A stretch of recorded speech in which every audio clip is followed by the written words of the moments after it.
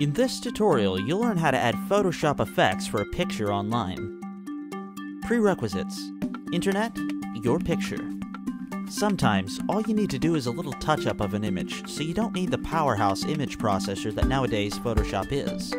For that, there's a very little known but excellent website which emulates most of Photoshop's functionality online. Today, we will reveal it to you. Launch a new web browser window. In the address, type ipiccy.com and hit enter. Click Start Editing. An online paint interface loads up. You can get images from Flickr, from any URL address, or you can upload an earlier prepared image.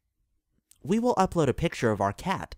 On the left side, you're offered all the basic operations one routinely performs to an image. Resizing, cropping, adjustment of colors and exposure, hue, saturations, levels, blurring, and sharpening.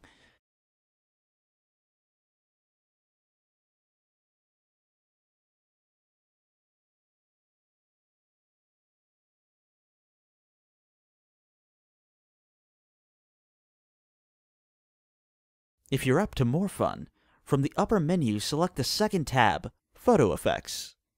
You can browse to various effects settings by clicking on them. Select the one that matches closest to the type of effect that you're looking for.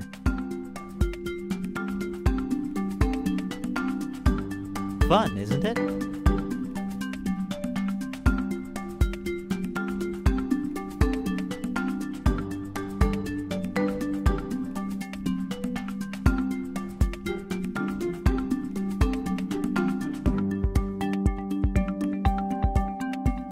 You've now successfully added online Photoshop effects to your picture.